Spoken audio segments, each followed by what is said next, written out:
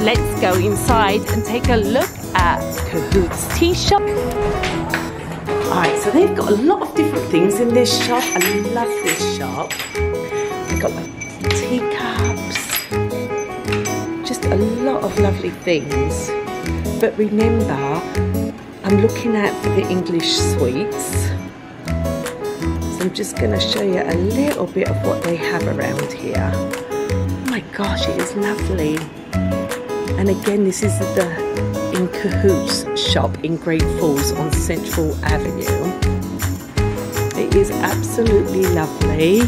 Oh, okay, so here we go. I see a flag. I see the Union Jack flag. It looks like it's a piggy bank. Oh, there's a little piggy.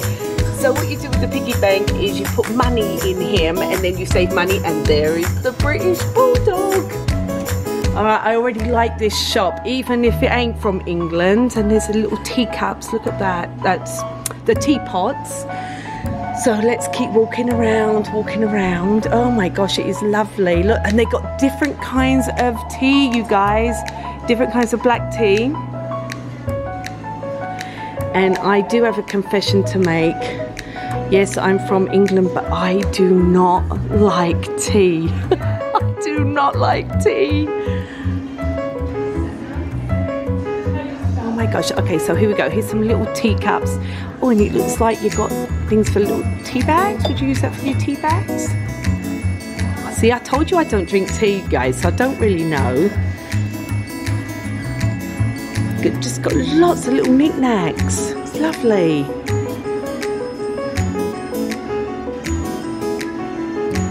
Look, there's more tea over here.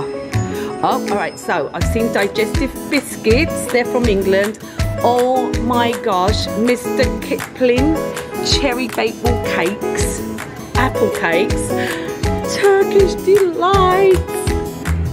All right, remember guys, any my British friends that live in Montana, this is in Great Falls, Montana. And there's some more green teas. And look, here is, hello, I just hit jackpot. Here is, okay, again, I don't like tea, but there's Bisto, pickled onions, there's mint sauce, HP sauce. That's good on steak. And Bisto is like gravy. Oh my gosh, look at this. Mr. Bake Balls again, and the digestive biscuits, and I have hit the sweets. Crunchies, Galaxies, Curly Wurly. Oh my gosh, I remember those when I was a kid and the Aero chocolate and a flake, which is just like chocolate. And then there's Heinz baked beans, Branston pickle, that's kind of sweet. And there's those Turkish delights again. And I guess these are like individual jellies. Oh my gosh. Oh, I'm in heaven. I've gotta buy some of those sweets before I go home. And again, there's some extra teas. Oh, look, we do have something from Montana. We have a wild huckleberry brownie mix. Oh my gosh, look at this. It seriously has a bit of everything in this shop, you guys. Look. It's lovely. I could work here. I think if I worked here though, they wouldn't have any sweets left. and then again, there's a whole different teas. Ooh, what's that? Banana, oh, banana chocolate tea. Wow. All I remember growing up was just regular like black tea. And look at these hats. So I wonder, the person that owns this shop, I wonder if they're from England. And it looks like they have like a clearance and oh my gosh, and they have lotions. Oh, it's lovely. And lace, oh, look at those laces. I love lace curtains. And it looks like you can have drinks made, teas, hot or cold, chai lattes. Now, I am a coffee drinker. London Fog. Oh boy, they have like a bit of everything in here It's just a lovely, lovely shop. So, if you are in Great Falls, you have to come into the shop called the Cahoot, in Cahoots, and um, you will get all your English sweets.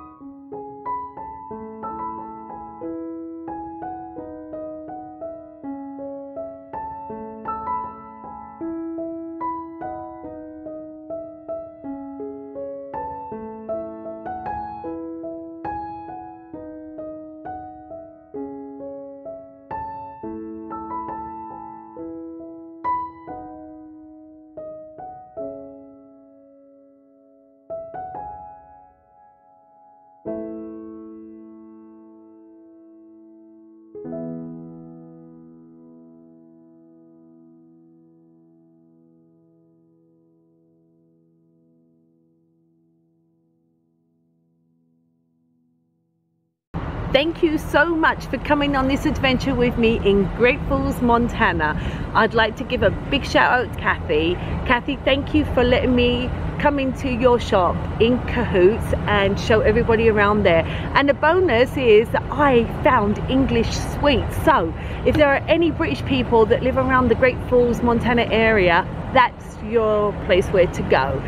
So until our next adventure, take care love one another and I will see you all soon.